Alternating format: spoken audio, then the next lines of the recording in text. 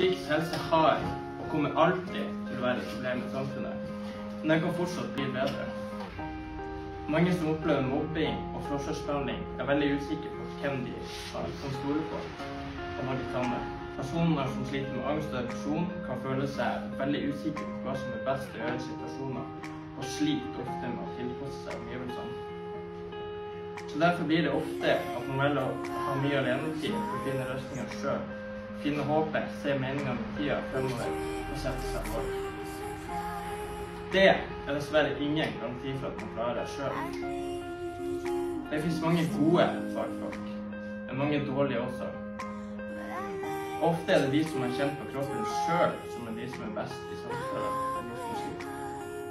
Derfor er det viktig å tørre å satse på erfaringskompetanse for voksne og for ungdom. Vi må alle gi opp håpet. Tørre å spørre. Vi må stå i det, og vi må tåle det. For vi er ingen å miste.